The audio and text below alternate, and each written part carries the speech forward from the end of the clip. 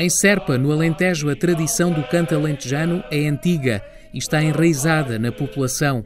Cumprem-se 10 anos desde a classificação do canto alentejano como património imaterial da humanidade pela Unesco e a distinção tem atraído novas vozes.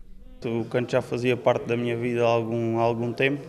Nós já se costumávamos encontrar com alguns elementos do grupo, eh, malta mais nova, cantávamos ao fim de semana nas tabernas, nas cervejarias e entretanto eles estavam sempre a, a derriçar-nos para, para vir cantar, eu e mais três ou quatro amigos que entramos na mesma altura. Desde que o canto foi considerado património da Unesco, eh, há a procura e é muito mais e os novos estão muito a aderir a isto. Ou seja, há 10 anos atrás, ou há mais de 10 anos atrás, eh, havia mais dificuldades no recrutamento? Muitas, muitas, muitas mais, porque havia até quem considerasse o canto alentejano, como dizem aí a juventude, fatela e fuleiro e piroso e tal. Não, não queriam. E algum novo que cá estava, quando íamos em cortejos ou estávamos cantando, chegavam os próprios colegas deles da escola a, a troçarem, a quererem troçar com eles. Hoje não. Hoje há uma procura. O grupo coral e etnográfico da Casa do Povo de Serpa ensaia na sua sede, mas o canto alentejano também está muito presente nas tabernas do Conselho. Em Vila Nova de São Bento, elementos de um dos três grupos da povoação encontram-se para cantar uma moda.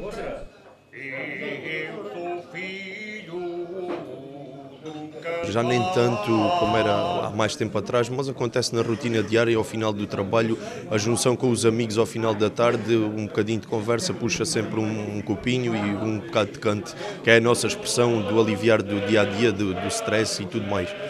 Aqui o canto está presente em tudo. Nós fomos correr aí a rua acima, podemos ouvir cantar em qualquer na rua, na taberna, no é, o canto aqui em Serpa é é muito apreciado.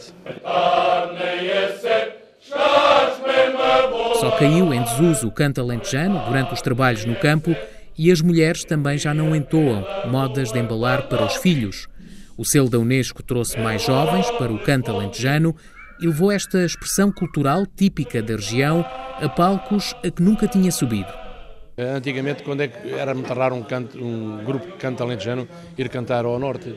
Ou mesmo ao Algarve, quer dizer, não, não, tem, havia um festival no Algarve onde nós íamos no rancho de cantadores da Aldeia Nova de Samento, íamos quase, quase todos os anos.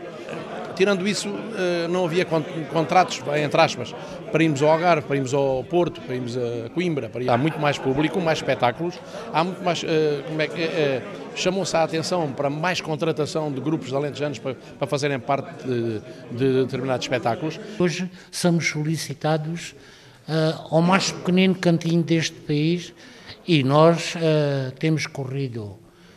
Aliás, nós já tínhamos corrido, mas agora ainda corremos mais e já fomos ao estrangeiro, ao Brasil, ao Canadá, a Europa já corremos quase tudo, já estivemos em África. Todos concordam que a classificação da Unesco só trouxe benefícios ao canto alentejano. E com a participação dos mais novos, a transmissão da tradição às novas gerações está assegurada.